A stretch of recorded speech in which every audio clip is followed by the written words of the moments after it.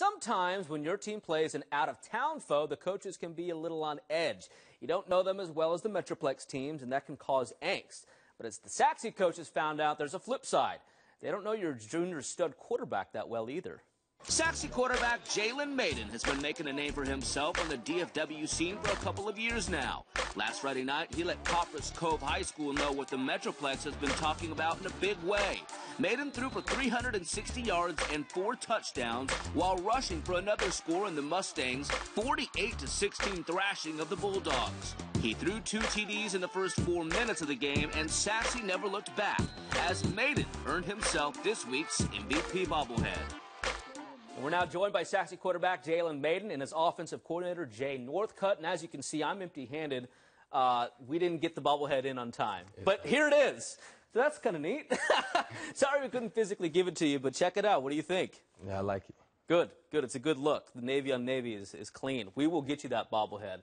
All right, so my first question um, I understand that you're going to Disney World in January, and you were just named to the USA under 18 football team that will play the Canadian national team at the end of January during Pro Bowl week. What a great honor. How excited are you uh, to play in that game?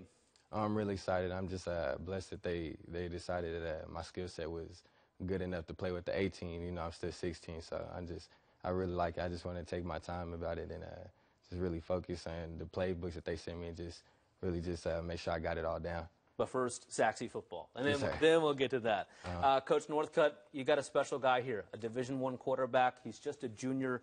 What makes him special? Well, I think there's a lot of things that make him special. I mean, he definitely is very athletic, uh, and he's very dedicated to being good at his position. But the thing that I think makes him the most special is uh, all that being said, he's, he's an even better human being. He's a great friend to his teammates. He's a great leader. And, and I think those are the things that really make him special. And he's got a good upbringing because Jalen has pedigree. His brother James, wide receiver at Rice, uh, brother Jared, great player last year, now at Alabama. Uh, what did you learn from these talented siblings, and how did that help you play for Sachse now?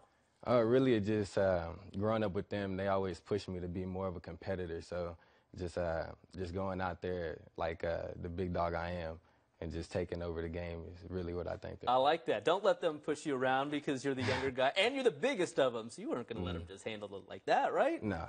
Uh, briefly, Coach, district play starts. What do you got this week? We've got Lakeview Centennial this week's big game. Uh, they've had a really good season so far, and they're playing with a lot of confidence. So we're expecting a big one. Good. Well, congratulations to you both. I promise we're going to get you this to you, okay? Our apologies, didn't get in on time.